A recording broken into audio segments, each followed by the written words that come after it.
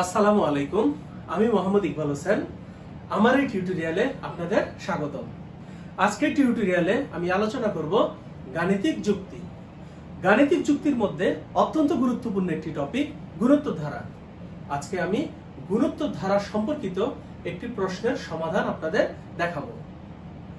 গুরুত্ব ধারা হচ্ছে সেই ধারা, যে ধারার দ্বিতীয় পদ ডিভিশন প্রথম পদ ইজ ইকুয়াল টু তৃতীয় পদ ডিভিশন দ্বিতীয় পদ। আবার তৃতীয় পদ ডিভিশন দ্বিতীয় পদ সমান চতুর্থ পদ ডিভিশন তৃতীয় পদ। অর্থাৎ আমরা বলতে পারি যে ধারার কোনো একটি পদ ভাগ আগের পদ সমান ধ্রুবক তাকে বলে গুরুত্ব ধারা। আমি একটি প্রশ্ন এখানে লিখেছি, প্রশ্নটি হলো five plus x plus y plus one thirty five গুরুত্বর ধারাভুক্ত হলে এক্স এবং ওয়াই এর মান নির্ণয় করুন। অত্যন্ত গুরুত্বপূর্ণ একটি প্রশ্ন। Five plus x plus y plus one thirty five গুরুত্ব ধারাভুক্ত হলে এক্স এবং ওয়াই এর মান নির্ণয় করুন। গুরুত্ব ধারার ডেফিনেশন অনুযায়ী আমি শুরুতে লিখতে পারি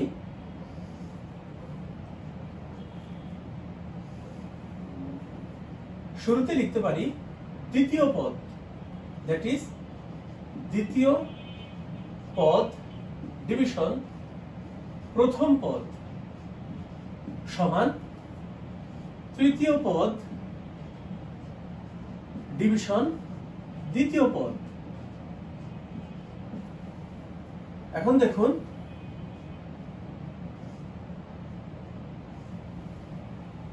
প্রশ্ন দেয়া আছে five plus x plus y plus one thirty five দ্বিতীয় পদ এক্স প্রথম পদ ফাইভ তৃতীয় পদ ওয়াই দ্বিতীয় x that is x square সমান five y that mean y সমান এক্স স্কোয়ার ডিভিশন ফাইভ একে এক নম্বর সমীকরণ দিয়ে রাখলাম। আমি এক্স এবং ওয়াই এর মধ্যে একটি সম্পর্ক পেয়েছি। এরপর গুরুত্ব ধারার ডেফিনেশন অনুযায়ী আমি লিখতে পারি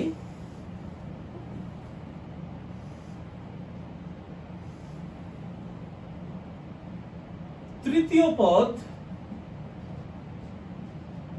ডিভিশন দ্বিতীয় পদ সমান চতুর্থ পদ ডিভিশন তৃতীয় পদ। বা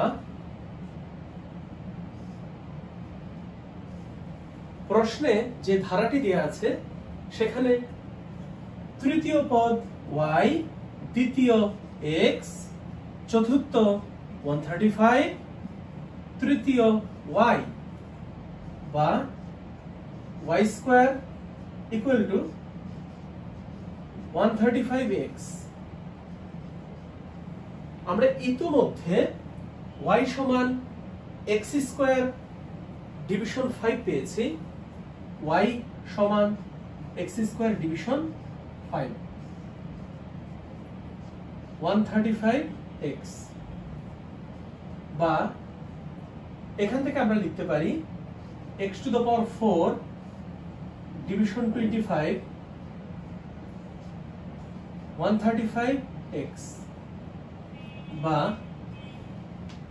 উভয় পক্ষকে x দ্বারা ভাগ করি, কারণ x এর মান শূন্য হতে পারে না, কারণ x হচ্ছে ধারাটির একটি পদ। x কিউব ডিভিশন 25 ইকুয়াল 135 এর পরের লাইন বা x cube equal 135 into 25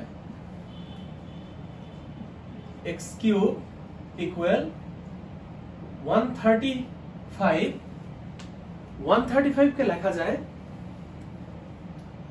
135 কে লেখা যায় three cube into three cube into five আর পঁচিশকে লেখা যায় five square that mean x cube সমান three cube into five cube সবগুলো কিউব বাদ দিলে x equal three into five that is x equal fifteen এক্সের মান এক নং সমীকরণে বসিয়ে পাই। এক নং সমীকরণে, এক নং সমীকরণে, এক নং সমীকরণে x ইকুয়াল পনেরো বসাই।